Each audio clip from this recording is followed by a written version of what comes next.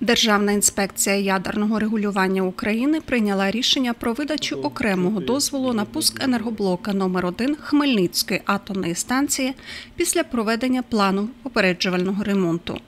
Рішення ухвалено за підсумками наради, яка відбулася 16 серпня в режимі онлайн-конференції під головуванням керівника Держатомрегулювання Григорія Плачкова за участі представників ДП «НЕК та ВП ХС. Учасники наради розглянули питання готовності першого енергоблока до пускових операцій. Головний інженер підприємства Олександр Клєпов доповів про виконання ремонту та випробувань обладнання систем, важливих для безпеки, модернізацію обладнання у рамках програми продовження терміну експлуатації.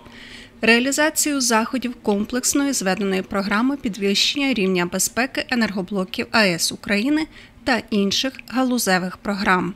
Зокрема, було зазначено, що під час ППР на першому енергоблоці було реалізовано 16 таких заходів.